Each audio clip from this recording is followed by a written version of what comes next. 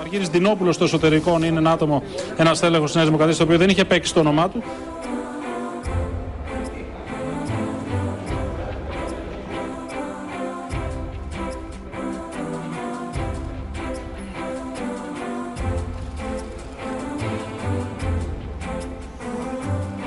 Στο όνομα της Αγίας και Μουσίου και Αδιαιρέτου Τριάδος, Στο όνομα της Μουσίου και Αδιαιρέτου Τριάδος,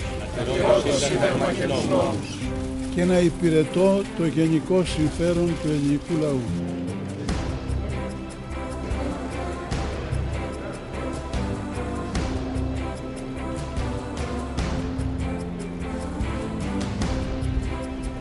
Στην αρχή έτσι το κουβέντιασα πρώτα απ' όλα με τον διευθυντή του πολιτικού μου γραφείου.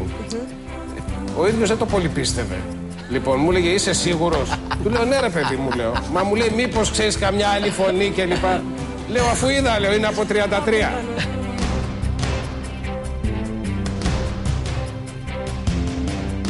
Θα εξακολουθήσουμε αυτή την προσπάθεια και τον αγώνα που τόσα χρόνια δίναμε τώρα που ένα άλλο μετερίζει. Και πρέπει να σας εξομολογηθώ ότι διαβαίνοντας την πόρτα του Υπουργείου θυμήθηκα τον πρώτο καιρό όταν ως εκλεγμένος δήμαρχος Βρυλισίων ερχόμουν εδώ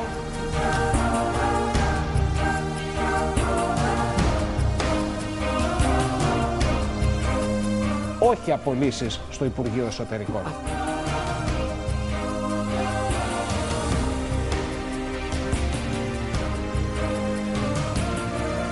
Με εντολή του ελληνικού λαού. Αλλά οφείλεται και στους βουλευτές μας, οι οποίοι στήριξαν την κυβέρνηση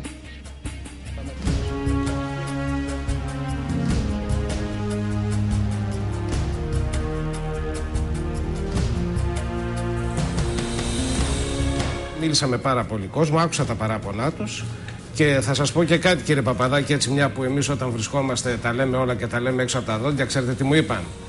Καλά τα έλεγε τόσο καιρό στις τηλεοράσεις. Τώρα που έγινες υπουργός, να δούμε τι θα κάνεις. Ε... Έτσι δεν είναι, εμείς δεν αξιολογούμαστε. Υπήρχε αξιολόγηση.